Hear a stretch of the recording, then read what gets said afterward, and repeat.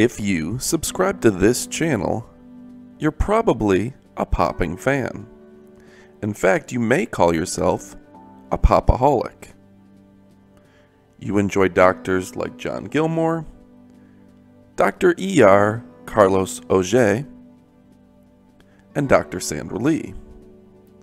But unfortunately, YouTube is doing their best to destroy the popping community on their website. They've essentially deleted channels with less than 10,000 subscribers. They've also cut out commercials on most channels with under 100,000 subscribers. They're sending a clear message that they don't want any more doctors and medical professionals posting videos on YouTube. They say it's not advertiser friendly. They don't want you watching this, and they want to censor you. So I want you to go ahead and comment below. Are you a popping fan? Even a popaholic?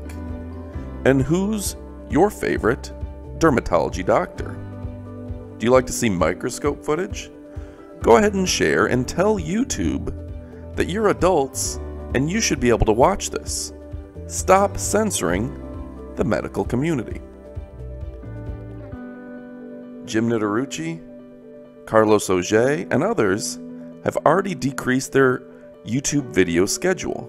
That means they're making less videos because YouTube keeps age restricting, hiding them from search, and content filtering them. So go ahead and comment below, and don't forget to pick up a Comedone extractor or two.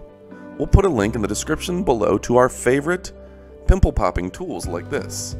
Thanks for watching and subscribe for new videos every week. Adios amigos.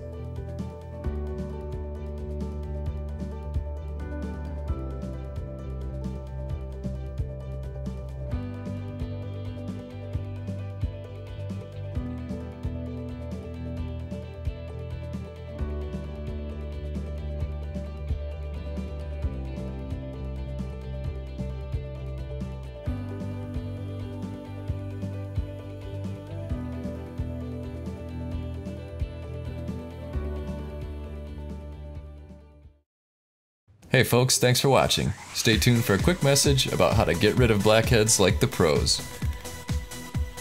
If you've got to get rid of some blackheads, it's safer to use an extractor like this one.